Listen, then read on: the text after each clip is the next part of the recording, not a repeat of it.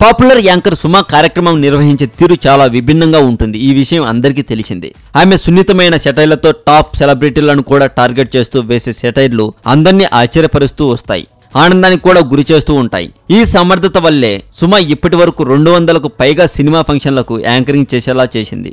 ఇది ఇలా ఉండగా మొన్న సోమవారం రాత్రి హైదరాబాద్లో జరిగిన శమంతకం మనీ ప్రీ రిలీజ్ ఈవెంట్లో సుమ చేతిలో మైక్ లేకుండా చేసిన యాంకర్ అందరి దృష్టిని ఆకర్షించింది. దీంతో చేతిలో మైక్ లేకుండా సుమ యాంకరింగ్ ఎలా చేసింది అంటూ చాలామంది ఆశ్చర్యపోయారు. అయితే లేటెస్ట్గా వచ్చిన టెక్నాలజీ సహాయంతో సుమ గారు అప్డేట్ అయ్యి ఈ కార్యక్రమాన్ని ఎలా నిర్వహించగలిగింది అన్న వార్తలు వస్తున్నాయి. చెవి దగ్గర పెట్టుకునే మైక్రో మైక్తో శమంతకమణి ఫంక్షన్లో సుమ యాంకరింగ్ చేసింది అని తెలుస్తుంది.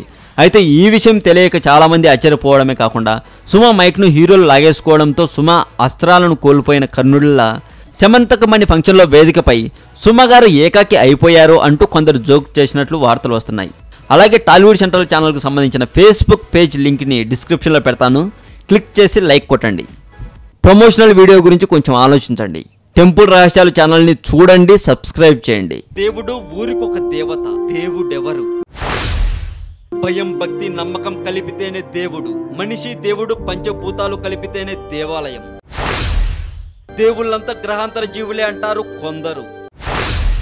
అసలు దేవుడికి రూపమే లేదంటారు మరికొందరు. ఇంతకీ ఆ దేవుడెవరు?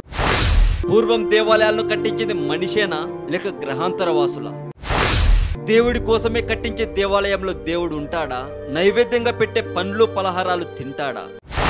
మనసులో మాత్రమే మెదిలే ప్రతి ప్రశ్నకి సమాధానం ఒక్క టెంపుల్ రహస్యాలు ఛానల్లోనే చూడండి.